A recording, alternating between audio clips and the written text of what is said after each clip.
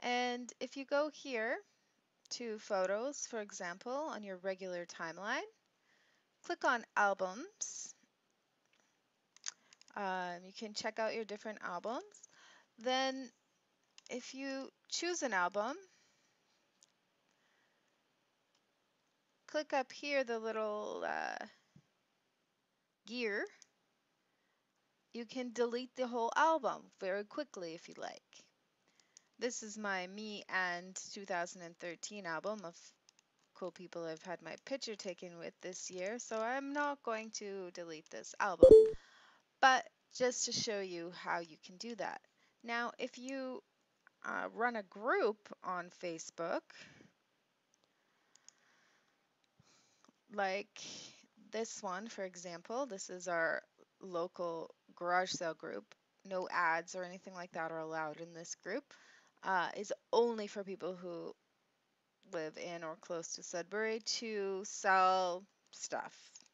Sell their used items, whatever they happen to have that they want to get rid of, or in some cases, like this, ISO in search of, I guess, means um, someone who's looking for something that that they would like to purchase uh, secondhand. So in an out in a group like this, if you go to your photo section, for example, and we scroll down now, some of these kind of groups get so many pictures and so many things posted that they stop working, they stop functioning properly. And so the admins can't go and delete all those photos one at a time because it takes forever. But if you can kind of keep your group cleared up as you go, then it's going to function more.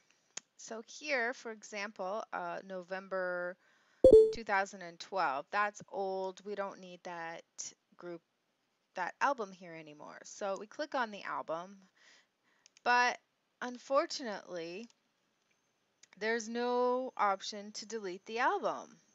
So as the minister of the group, that's kind of a bit of a pain in the butt.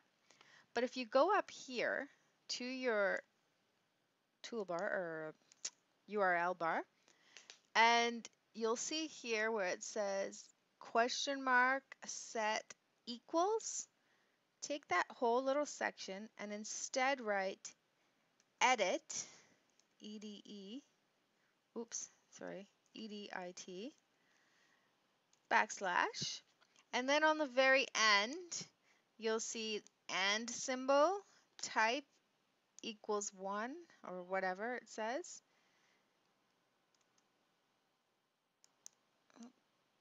Take that, backspace, like erase that part, hit enter, and voila, you now have a delete album option. Click delete, delete the album, voila, it's gone. So if we go back to the photos page, for example, um, there's some albums in here that are empty, but no way to delete them. Even though the images were deleted individually, the album still is here just making a mess and taking up space. So again, the you go to your URL bar, delete the question mark set equals, replace it with edit backslash on the very end delete the and type equals and just leave the numbers hit enter and delete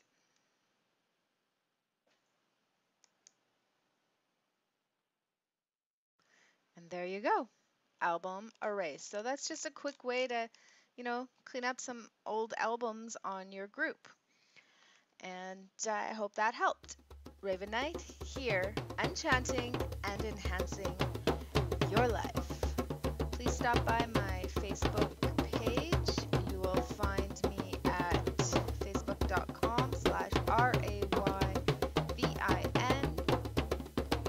Y T